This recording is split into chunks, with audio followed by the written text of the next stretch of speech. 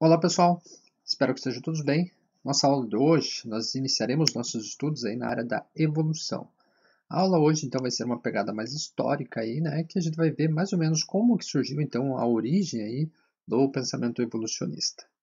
Então, a primeira coisa que vocês devem saber é que até mais ou menos aí o século XIX, a maior parte da população, inclusive dos naturalistas, eram fixistas ou seja, acreditavam que as espécies eram fixas, elas não mudavam ao longo do tempo. Então, por exemplo, aqui, ó, essas três borboletas aqui, aqui você tem um fator tempo, né? E ao longo do tempo, essas espécies elas continuavam sendo iguais. Ou seja, as espécies que nós temos hoje sempre existiram dessa forma. Então, os seres humanos que vocês veem hoje sempre foram dessa forma. Os gatos sempre foram dessa forma, os cães sempre foram dessa forma, e assim por diante, tá? tá? Todas as plantas, todos os seres vivos, então, né, são fixos, eles não mudam ao longo das gerações, ao longo do tempo. Essa é a ideia do fixismo. E o fixismo, né, ele se divergia um pouquinho com relação à sua origem. Né? Então, existiam pessoas, existiam naturalistas que eram fixistas e eram criacionistas, e tinha aqueles que acreditavam também que né, as espécies eram fixas, no entanto, haviam surgido por geração espontânea. Tá? Então, geração espontânea, caso vocês não lembrem, né, era aquela ideia de que os seres vivos podem surgir espontaneamente a partir de matéria inanimada, dada algumas certas condições. Por exemplo, a carne lá, eles acreditavam que as larvas que apareciam na carne morta surgiam a partir da própria carne morta. Então, a carne morta daria origem a essas larvas. Ou então tinha aquela clássica receita de fazer ratos. Se você pegasse lá um, grãos de trigo, colocar lá numa roupa suada, deixar num canto sossegado por alguns dias. Né? Depois desses dias, ia ver lá, ia estar tá cheio de rato. Eles acreditavam que os grãos de trigo se transformavam nos ratos a partir do momento que o suor humano que estava na roupa impregnava nos grãos. Então, essa era mais ou menos a ideia aí né, que a gente conhece por geração espontânea, ou então a biogênese. Já o criacionismo, né, como vocês sabem, uh, parte do princípio de que Deus criou os seres vivos assim como eles são. Tá? Então, uh, os fixistas criacionistas acreditavam que os seres vivos haviam sido criados lá por, por, pelo Deus, diferente qual Deus, né? isso varia de uma religião para outra, né? mas acreditavam então na criação divina. Então, uma entidade divina criou os seres vivos da forma como eles são e sempre foram assim, ok? Ainda tinha uma terceira uh, forma de surgimento de seres vivos que era o catastrofismo. É, eles acreditavam que de tempo em tempo surgiam algumas catástrofes, inclusive divinas, né? e que acabavam aniquilando com os seres vivos, e aí por isso que você tinha, por exemplo, a questão dos fósseis. Você conseguia encontrar um fóssil, ah, mas ele foi eliminado por uma catástrofe divina, aí Deus foi lá e criou os outros seres vivos lá tudo de novo. Então era mais ou menos dessa forma. Então essa que é a, a meio que a base da ideia do fixismo, tá? Então basicamente isso, as espécies não mudam, elas são fixas, elas não evoluem, elas não se transformam ao longo do tempo. As espécies, ok? Não estamos falando de indivíduos, né? estamos falando de espécies como um todo. O principal problema né, que ocorria nessa época e até o século XIX, na verdade ocorre até hoje, é que muitas dessas ideias elas são baseadas então nas religiões, nos textos sagrados lá dessas religiões e são dogmas. Então são aquelas verdades, né, que ninguém pode contestar.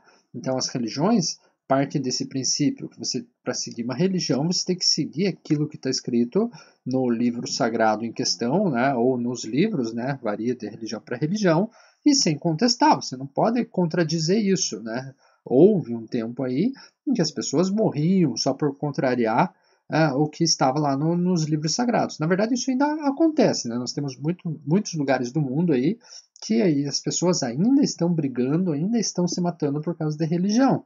A religião é uma coisa pessoal, por isso que a gente não vai entrar nessa, nessa temática, tá? A única coisa que eu quero que vocês saibam aqui é que o criacionismo é baseado nos dogmas, é baseado né, em algo que você não consegue comprovar, que você, se você está inserido naquela religião, você não pode nem discordar. Enquanto isso, o evolucionismo, que é a ideia de que os organismos né, se transformam ao longo do tempo, ao longo das gerações. Você tem espécies surgindo a partir de espécies ancestrais que foram se alterando ao longo do tempo.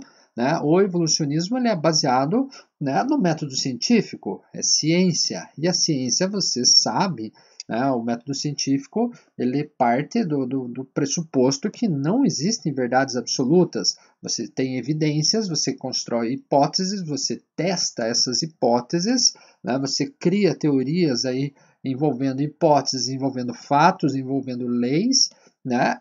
mas né, na ciência o que a gente tem né? Não é uma verdade absoluta, você tem a melhor resposta para aquilo até o momento e constantemente você vai testando ela, vão surgindo novas evidências, novos fatos e você vai testando aquelas hipóteses, vai testando, né? tentando verificar né, se aquela, aquilo que a gente acreditava ser não é outra coisa ou verificando se aquilo que a gente acreditou até agora está errado ou está certo. Estão entendendo? Tá? Então, assim, por exemplo, o evolucionismo, né, principalmente nessa época, né, a origem né, desse pensamento né, de que as coisas evoluem, foi principalmente baseada aí na análise de fósseis, né, encontrar fósseis, organismos que já não existem mais. Você encontrou lá, imagine o primeiro homem que encontrou uma alçada de dinossauro, como é que ele deve ter ficado assustado, né, vendo aqueles ossos daqueles tamanho, aquelas boconas gigantes, aqueles dentão né? Se você não tem a noção de que aquilo é um animal que foi extinto, que não existe mais, você vai ficar o resto da sua vida né, com medo de que esse bicho, né, ou algum né, parecido com aquele, apareça né, para te devorar. Tá? Outra coisa, ah, os fósseis aí de hominídeos, a comparação né, entre uma, um fóssil e outro, entre uma alçada e outra, você verificando que existem similaridades entre organismos vivos mesmo, você percebendo durante o desenvolvimento embrionário as similaridades, né? Como é que pode ser tão parecido, né? Durante alguns momentos, em, em alguns aspectos. Então você tem uma série de evidências que corroboram né, com a ideia da evolução dos organismos. Tá? Tanto que assim, a ideia do evolucionismo né, foi fortalecida, né, principalmente aí a partir de 1858, quando Darwin e Wallace ali publicaram a teoria deles, e desde então ela vem sobrevivendo a todos os testes que têm sido submetida. Então, assim, dentro do método científico, você utilizando as ferramentas né, corretas de, de análise, você percebe que a evolução dos organismos é de fato um fato, tá? O que se discute ainda é os caminhos que, que, que, que a evolução percorreu, né? os caminhos que uma espécie percorreu até chegar ao ponto onde ela está. Mas que ocorre uma evolução dos organismos, isso a gente consegue né, facilmente verificar, por exemplo, fazendo uma seleção uh, de bactérias aí com antibióticos. Os antibióticos tiveram que ser proibidos para venda uh, aberta, né, sem prescrição, justamente porque as pessoas iam tomando antibióticos aí da forma incorreta e aí por conta disso as bactérias que causavam as doenças nas pessoas elas foram evoluindo, foram adquirindo resistência, tá? Então o uso incorreto então aí dos antibióticos foi selecionando as bactérias que eram mais resistentes a esses antibióticos, essas foram se reproduzindo e você chegou a um ponto então que né, temos aí hoje em dia bactérias que são resistentes a todos os antibióticos que já foram inventados. Tá? Então isso é a evolução ocorrendo em tempo real.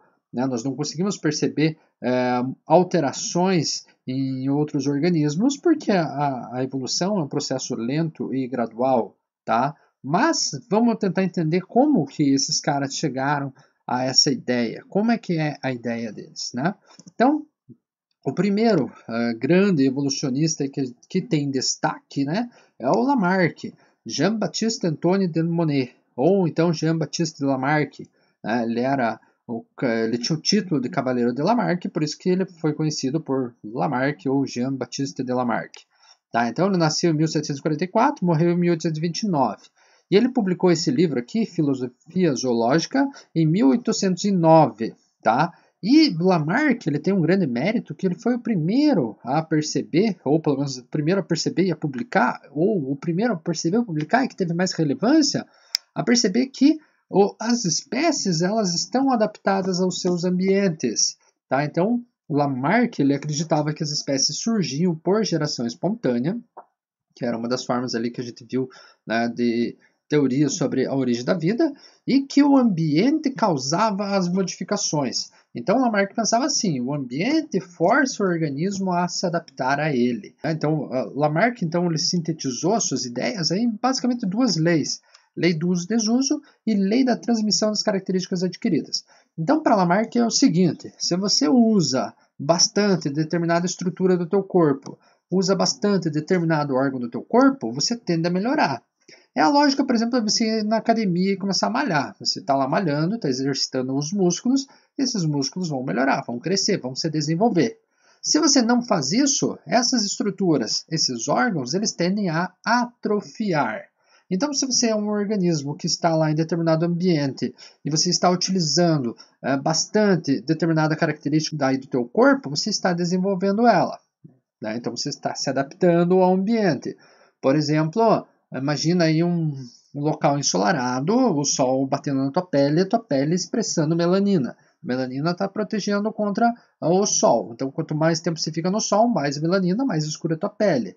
Mais ou menos essa é a ideia. Se você não fica lá no sol, vai ficando lá mais afastado do sol, fica, só sai à noite, não pega mais sol, tua pele vai ficando mais clara porque não está expressando melanina. Então você se adaptou ao ambiente. Já a lei da transmissão das características adquiridas, então é a ideia de que aquela característica que você adquiriu, obviamente, que você desenvolveu, que você melhorou ou que você piorou, digamos assim, você atrofiou, né, está em você. A hora que você tiver um filho, você vai passar para o teu filho. Então, se você era bom de bola, porque você treinou pra caramba, né, vai ter um filho, teu filho também vai ser bom de bola, porque você era bom de bola, porque você adquiriu essa característica né, de ser um jogador sensacional. E aí você vai ter o filho, você passou essa característica para o filho. Tem um exemplo aqui que é bem fácil de entender, que é a ideia das girafas. Então, ah, é clássico esse exemplo. Né? Para Lamarck, as girafas, né, nós, todo mundo conhece girafa, girafa tem esse pescoção gigantão aí, né? Né? Mas, de acordo com Lamarck, de tanto as girafas esticar os pescoços para alcançar as folhas, né, elas foram ficando mais pescoçudas. Então, lei do uso e desuso. Você está lá esticando, esticando, esticando, está crescendo um pouquinho. Claro, essa girafa aqui não é essa mesma girafa aqui. Imagina isso aqui como se fossem quatro gerações. Então, esse aqui é o pai desse aqui, que é pai desse aqui, que é pai daquele lá. Né? Por exemplo, então aqui nós temos quatro gerações. A ideia é que esse aqui forçou a crescer um pouquinho, né, alguns centímetros, mas quando ele já teve o filho dele, esse filho dele já nasceu com, com esse ganho de pescoço. Aí ele continuou se esforçando, né, esticando mais o pescoço. Né, o neto daquele primeiro já nasceu né, com um pescoço mais avantajado, porque já foi resultado aí do uso e desuso já de duas gerações para trás. E por fim, aqui o bisneto lá do primeiro já vai estar com o pescoço bem grandão, porque todos os seus ancestrais estavam esticando, esticando, esticando o pescoço. Tá? Então essa que é a ideia, então isso sintetiza o pensamento lamarquista, que é o uso e desuso, então você está usando essa característica e está transmitindo para os seus descendentes a aquisição dessa característica. Você adquiriu e você transmitiu. Teu filho né, nasceu com isso, melhorou, passou adiante e assim por diante. Então, Lamarck pensava dessa forma. Então, só para anotarem aí, Lamarck, então, o ambiente causa as modificações. O ambiente é responsável por causar as modificações ah, nos organismos. Beleza? Então, os organismos se adaptam então aos seus ambientes, evoluem para adaptar-se aos seus ambientes. E aí nós temos o Darwin né, e o pensamento darwinista. Darwin nasceu justamente no ano que Lamarck publicou seu livro. Então, nasceu em 1809 e morreu em 1882. Só que Darwin pensava diferente de Lamarck com relação à, à, à função do ambiente. Vejam bem, os dois, as ideias dos dois, de Lamarck e de Darwin, convergiam no ponto de que os dois perceberam a adaptação dos organismos aos seus ambientes. Tá? Só que enquanto Lamarck acreditava que o ambiente força os, os organismos a se adaptarem, né, uh, molda então esses organismos a se adaptarem ali nele, Darwin ele percebeu que o ambiente seleciona os organismos mais adaptados a, então a esses ambientes. Então, quem está mais adaptado, beleza, vai, vai continuar ali. Aqueles que não são aptos vão morrer. Tá? Então, a hora que você chega naquele ambiente, obviamente você só vai perceber os aptos, os adaptados, aqueles que já são, né, já têm algo que os faz viver bem naqueles ambientes. Tá? Então, porque quem era inapto já morreu, já não existe mais, não passou suas características para frente. Né? E Darwin ele publicou então o seu livro, aqui, A Origem das Espécies, no ano de 1859 só. Os principais pontos, então, é, levantados por Darwin foi a ideia da ancestralidade comum e da seleção natural. Então, para Darwin, todos os organismos têm o mesmo ancestral em algum momento. Então, né, todos nós somos parentes, né, nem que seja distante. E isso se estende para mais longe ainda. Então, se você olha você e o teu cachorro, em algum momento lá atrás na história evolutiva, vocês também né, tiveram um elo de ligação, também tiveram um ancestral em comum. E quanto mais você volta, maior então a tua família aí no teu, no, na tua árvore genealógica. Ok? Então essa é a ideia da ancestralidade comum. E a seleção natural é isso que eu falei para vocês. O ambiente seleciona os mais aptos. Tá? Então, assim, ó, só para vocês entenderem, né, fazer um paralelo com o Lamarck, né, o mesmo exemplo das girafas. Vocês lembram que Lamarck né, pensava que de tanto as girafas esticarem seus pescoços, elas foram ficando pescoçudas. Para Darwin, não. Né? Você sempre teve girafas aí com pescoço mais comprido e pescoço mais curto. Tá? Obviamente, aquelas que têm pescoço mais comprido conseguem comer mais lá em cima. As que têm pescoço mais curto não alcançam lá em cima.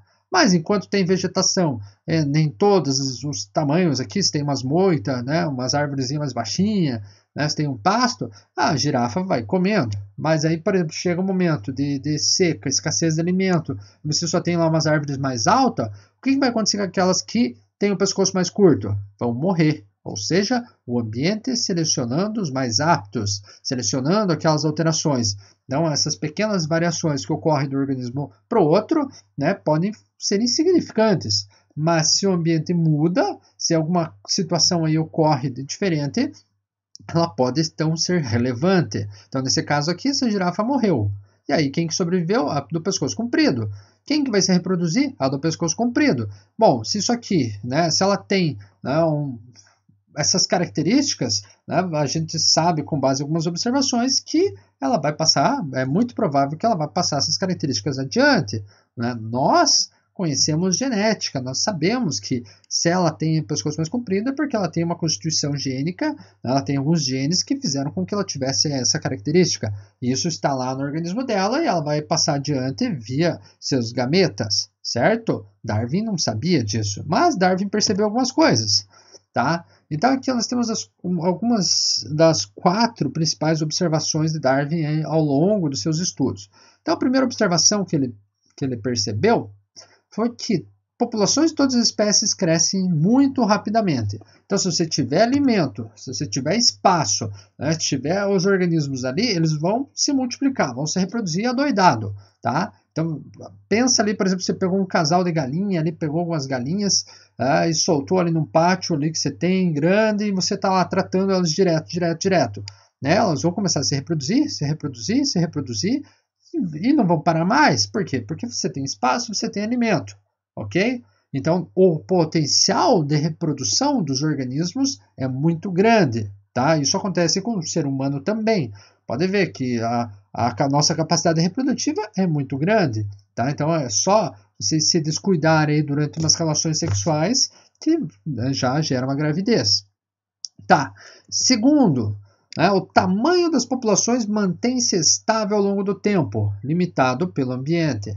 O que Darwin percebeu foi que, assim, mesmo você tendo essa questão de, do, do, crescimento né, da, do nosso potencial reprodutivo ser grande, não é por causa disso que o mundo está super populoso aí de, de espécies. Tá? Você não vai ter lá, não é porque o potencial reprodutivo das zebras aqui é, é elevado que você chega lá na África e só tem zebra, ou então as zebras se espalharam pelo mundo todo, ou os gnus, ou os elefantes, ou as aves. Né? Você tem uma, um certo equilíbrio na natureza. Então, apesar dessa, desse grande potencial reprodutivo, você tem um equilíbrio na natureza. Então, o ambiente, né, ele percebeu que o ambiente controlava né, a, a, o tamanho das populações. Então você vai ter lá um tanto de animais. Claro, hoje em dia a gente estuda ecologia, vocês sabem né, da questão do equilíbrio ecológico, né, você tem que ter uma base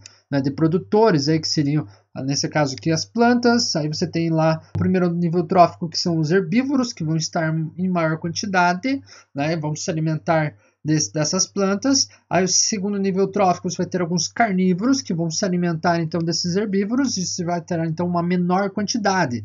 Não tem como você aumentar uh, a quantidade, por exemplo, desses animais carnívoros, por exemplo, aqui dos leões, sem antes aumentar a quantidade de zebras. Né? Não tem como aumentar a quantidade de zebras sem antes aumentar o espaço, né, a vegetação para elas, a água e tudo mais. Então, o ambiente limita o tamanho das populações.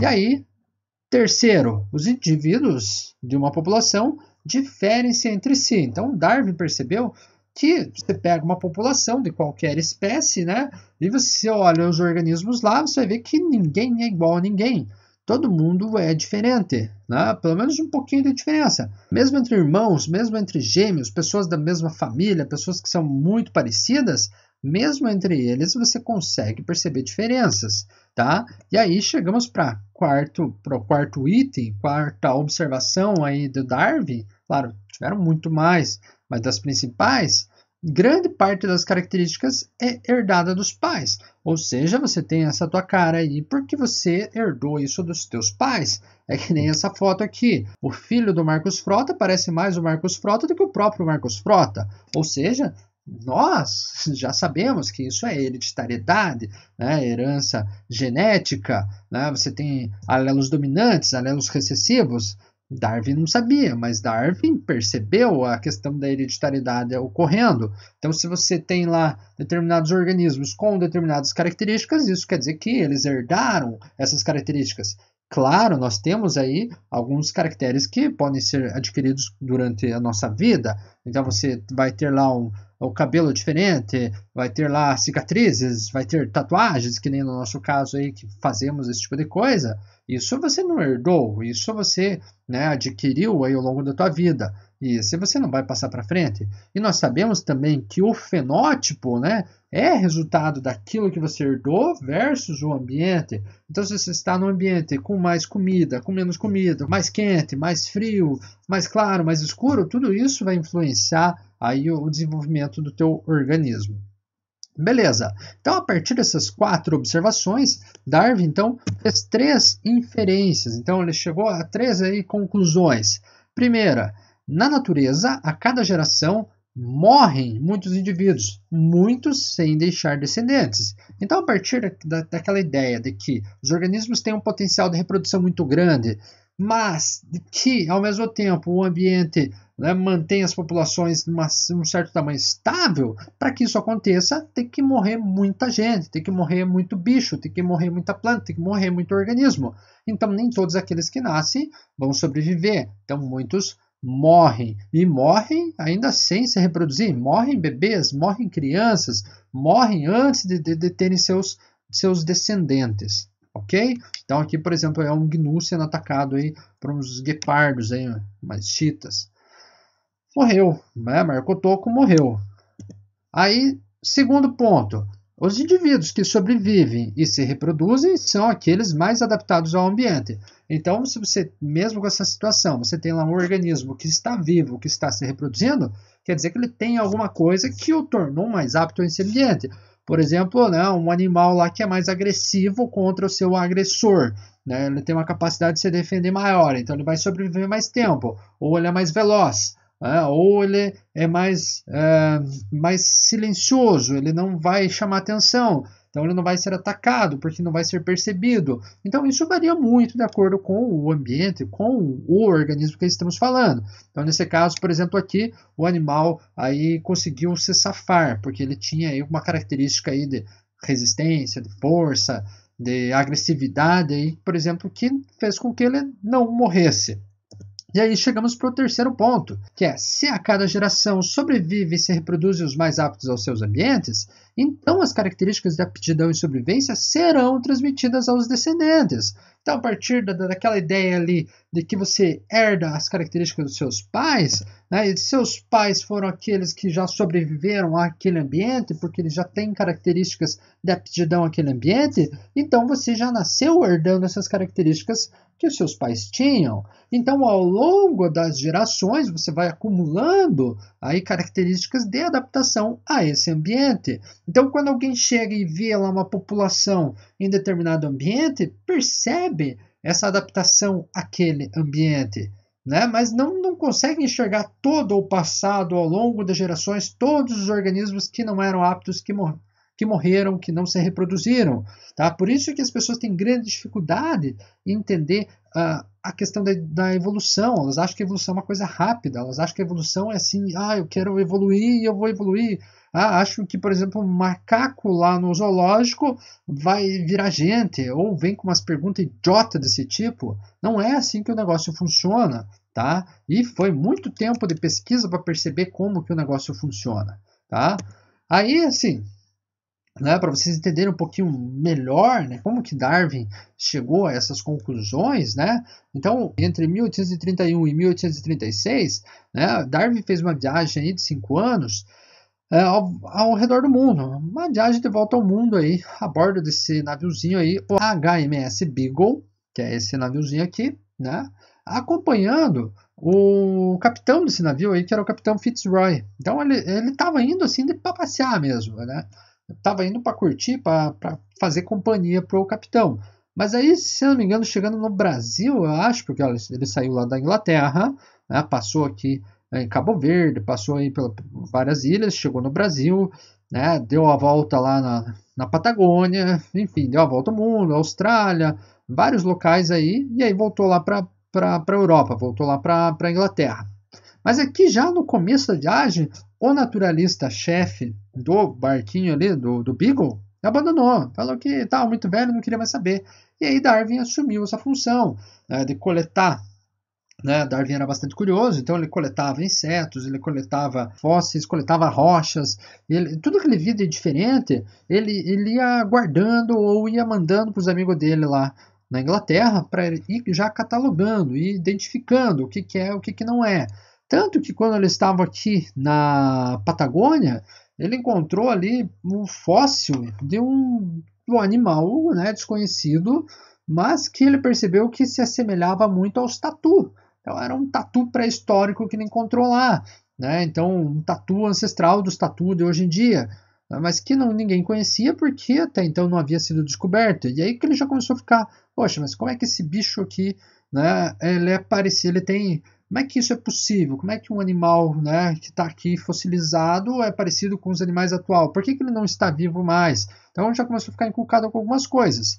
Mas o mais legal aconteceu quando ele chegou nesse pontinho aqui, ó, né, aqui nesse cantinho ali, é, existe um arquipélago chamado de Galápagos. Então você tem aí o arquipélago de Galápagos, né, são várias ilhas, olha só como são pequenas. Ó, você tem aí América aqui, né? América do Norte, América do Sul, América Central. E ó, aqui ó, nem aparece Galápagos ali, mas está ali, tem um monte de ilhazinha. E quando eles chegaram em Galápagos, chegaram com o barquinho ali, já de cara, no que eles desembarcaram ali nas ilhas, ele percebeu que existiam umas tartarugas gigantes ali. Vários pontos da viagem deles, aí eles se deparavam com animais exóticos, animais que eles não conheciam. Mas aqui ele ficou bastante aí perplexo, né?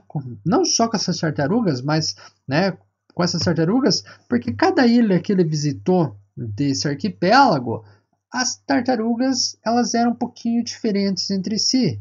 Então, olha só, né? só para vocês entenderem, olha o tamanho, é claro que só tem um pedacinho do mundo aqui, né? Nesse mapa, né? E, e Galápagos é um pedacinho do pedacinho, é um pedacinho de nada, é um cocôzinho de mosca ali no mapa. E aí você tem lá esse monte de ilhazinhas pequenininha no meio do mundo inteiro. E você tem lá nessas ilhazinhas várias espécies diferentes de tartarugas. Então ele começou a ficar assim, mas por que? Por que isso? Né? Não, não conseguia entender, mas foi coletando material, né? foi guardando, foi enviando para os colegas dele. Existiam aqui também nessas nessas ilhas aí uh, algumas aves, aí, os tentilhões, né? E ele também percebeu que essas aves elas eram muito parecidas entre si, mas ao mesmo tempo elas eram diferentes. E quanto mais longe estavam uma das outras, né? De uma ilha para outra, mais diferente ficava a ave né? E elas eram adaptadas aí ao tipo de alimentação que elas tinham à disposição em suas ilhas. Então tinha algumas aves que eram adaptadas a comer inseto, a outra a comer cacto, a outra a comer sementes e por aí vai. E aí ele foi desenhando isso, foi guardando pena, guardando osso, né? guardando tudo para depois tentar entender. Mas aqui que começou a, a, a ideia dele desse, poxa, por que será que Deus fez uma coisa dessa? Por que, que né, tanto lugar no mundo, né, e ele foi colocar justamente aqui um monte de tartaruga parecida e diferente ao mesmo tempo, num pontinho aí diferente? E por que, que os outros lugares, né, lembrando a viagem dele, né, olha só, viajou bastante aqui nessa região aqui do Trópico do Capricórnio e ele percebeu né, a questão da geologia que se tinha né, alguns pontos aqui, rochas né, que eram bastante similares de, de um continente para o outro. Isso aí, claro, hoje em dia a gente sabe a tectônica de placas, aí, a ideia da Pangeia, né, da, dos continentes aí se, se separarem. Então hoje nós sabemos disso, mas na época né, não se sabia disso. E aí ele também percebeu a questão da presença de fósseis que muitas vezes eram similares mas que os organismos daquela época, mesmo estando aí na mesma na linha equatorial aqui, no trópico aqui de Capricórnio, né, um organismo aqui de Galápagos era diferente, por exemplo, dos organismos muito diferente, dos organismos aqui do, do, Cabo Verde, por exemplo. E ele ficava pensando, mas por que isso? Por quê? Sabe? Ele ficava, começou a, a ser per, perguntado o porquê dessas coisas. Mas beleza, ele foi, fez a viagem, coletou os materiais aí, começou a escrever, começou a hipotetizar coisas, mas voltou para casa e ainda não, não publicou nada, só conversou com alguns colegas, né? E começou então a fazer alguns rascunhos aí da, da sua teoria, né? Mas ainda nada pronto, até porque ele tinha bastante medo. Aí Darwin gostava bastante de ler. Uma das coisas que ele leu foi aqui o livro do Thomas Malthus aí, um ensaio sobre o princípio das populações. E aí, nesse livro, o Malthus, ele diz né, que o descompasso entre o crescimento populacional e a produção de alimentos é a principal causa da miséria humana. Então, a ideia, né, a teoria malthusiana, o que Malthus havia percebido era que a produção de alimentos ela cresce numa progressão aritmética, enquanto a população ela cresce numa progressão geométrica. E aí você, por conta disso, né, você tinha esse descompasso. Então você ia ter mais gente e menos comida. E aí esse ponto, né, de, de onde isso acontece, é justamente o, ponto de início aí das guerras, da miséria, da fome, da pobreza humana. Então a ideia de Malthus era essa Aí quando Darwin leu isso, ele pensou, poxa vida, mas é isso, isso acontece na natureza, né? está dentro daquelas observações dele, ah, os organismos, nasce bastante organismo, mas morre muito organismo porque né, eles têm que lutar pela vida, né? eles, têm que ser, têm que ser aptos aos seus ambientes, porque o ambiente tem, tem recursos limitados, e aí que Darwin cunhou um termo é, que a gente conhece por luta pela vida, que a seleção natural, então, ela envolve essa luta pela vida, onde os mais aptos sobrevivem, tá? E só que ainda ele não, né, mesmo lendo Malthus aqui, ele ainda não tinha tido de todos os insights, né? Mas criando pombos, né? Ele gostava de criar pombos, ele vivia aí meio que no interior. E assim, não só com pombos, mas com várias espécies, cães, gatos, uh, vegetais aí que a gente se alimenta, você pega brócolis, pega couve-flor, pega milho, pega banana, pega, todos, acho que, acredito que todos os alimentos aí que hoje em dia estão na nossa mesa são frutos de seleção artificial. Então você selecionar as características que você quer, né, dos organismos que você está cultivando, que você está criando, e fazer os cruzamentos entre os indivíduos que têm as características que você quer. Então ele criando pombos, onde você tem lá o pombo o ancestral, né, que seria ou que deu origem aos outros, né? E aí várias variedades, que nem aqui, ó, aqui tem três variedades, variedade A, variedade B variedade C, pombo de papo, pombo volteador e o pombo de leque. Mas essas três, olha só como elas são diferentes entre si, elas descendem desse mesmo pombo da rocha. Mas como é que elas ficaram dessa forma? Seleção artificial, foram separando os pombos. Ah, eu quero cruzar o branquinho com o branquinho. Ah, eu quero cruzar o de papo com o de papo. Ah, o de papo com o mais alto. O branquinho com o mais plumoso. E assim por diante. Então ele percebeu que a natureza exerce uma seleção né, sobre as espécies, tal como a gente faz a seleção artificial em nossas espécies domésticas. É aí que ele né, caiu a ficha dele. Então, quando ele juntou tudo isso, juntou todas né, as, juntou todo o material que ele tinha uh, durante a viagem, né, toda a análise que ele fez, né, a ideia ali que ele leu no Malthus, uh, os fósseis, a questão da seleção artificial, aí que ele criou então a teoria da evolução das espécies por seleção natural. Tá? Só que, assim, Darwin era meio cagão, ele não queria publicar, ele tinha medo de publicar porque ele tinha medo das consequências, né? porque as consequências elas, elas estão aí até hoje, né? e ele não sabia né, como é que isso ia é, respingar para ele, ele tinha até medo né, da repercussão e, sei lá, de repente até mesmo da crítica, né? Só que daí, olha só, ele voltou da, da viagem dele ali em 1836. Só lá em 1858 que eles publicaram a teoria da evolução. Por quê? Né? Porque esse cara aqui, Alfred Russel Wallace, também naturalista, ele né, um estudo independente, não tinha nada a ver com Darwin, estava lá estudando fauna e flora lá da floresta amazônica e das Índias Orientais, ele chegou a conclusões muito parecidas com as de Darwin. E ele sabia que Darwin tinha umas ideias com relação à evolução e mandou uma carta para Darwin. E aí Darwin viu que as ideias dele eram praticamente as mesmas né, e resolveu então fazer um resumo né, da, do, da sua descoberta. E aí os dois juntos publicaram em 1 de julho de 1858 na Linnean Society of London a teoria da evolução. Tá? Então, só um ano depois que Darwin editou e publicou o livro dele, A Origem das Espécies. Aí esse cara aqui, ó, também merece destaque nessa história, né, o Thomas Huxley, porque ele era, não, provavelmente deve ser o melhor amigo do Darwin aí, ele era o principal defensor das ideias do Darwin. Tá? Como eu falei para vocês, Darwin era meio recluso, né? vivia lá no interior, né? ele não, não participava muito de, de, debates. E o Thomas Huxley, né? ele também era um biólogo aí, né? então ele, ele curtia essa área e ele é um, era um cara que tinha assim, uma capacidade muito boa de discursar, ele era bastante inteligente, e aí ele, ele era o principal defensor, então ele foi né, o principal defensor das ideias do Darwin. Tanto né, que ele foi apelidado na época como Bulldog de Darwin. Né? Existe até um debate clássico aí, se não me engano, com um bispo, em que eles estavam discutindo sobre a teoria da evolução. Então, por hoje era isso. Espero que vocês tenham curtido a aula, espero que vocês tenham entendido um pouco do conteúdo. Hoje foi meio que a parte histórica, né, ou como as diferenças entre os pensamentos evolucionistas. Nas próximas aulas nós estudaremos um pouco mais aí sobre as evidências da evolução né? E a parte aí que você que nós temos né, de conhecimento que veio além de Darwin, né, o conhecimento principalmente de genética, né, que consegue comprovar muitas das coisas, conseguimos entender muito de como que a evolução ocorre ou qual foi o caminho que nos trouxe até aqui. Então, fiquem bem até a próxima semana. Tchau para vocês.